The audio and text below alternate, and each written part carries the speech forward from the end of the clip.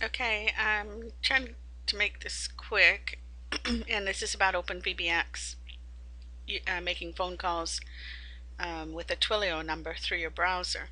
And uh, the only purpose for this over the uh, simple Twilio Twimlet that I talked about in the last video would be that uh, you can make a call from your browser and the 800 number would show as a caller ID in their phone.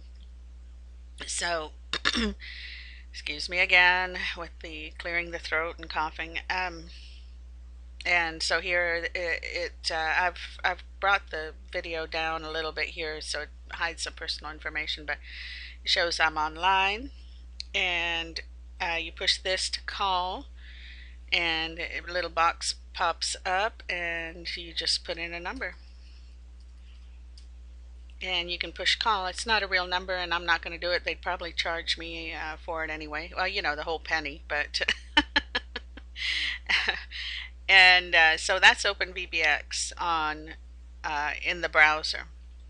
To set it up, um, I don't know if you've uh, gotten a Twilio number already. If you haven't, uh, this is uh, go to this video on YouTube or go to youtube.com and then search for this video it's uh, by far uh, it's going to be at the top of the search results because it is uh, thorough and uh, I mean he explains it um, and just follow the directions. And then when you get that go to this next one how to install OpenVBX tutorial um,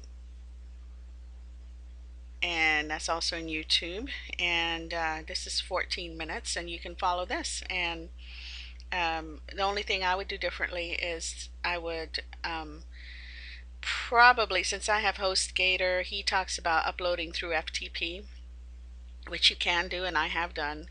Uh, but I find it a whole lot easier to go into my cPanel in HostGator and upload from there. I can upload the zip file and then extract it and um, uh, and then he shows you how to create a new uh, a new user uh, I'm sorry, um, create a, a MySQL database.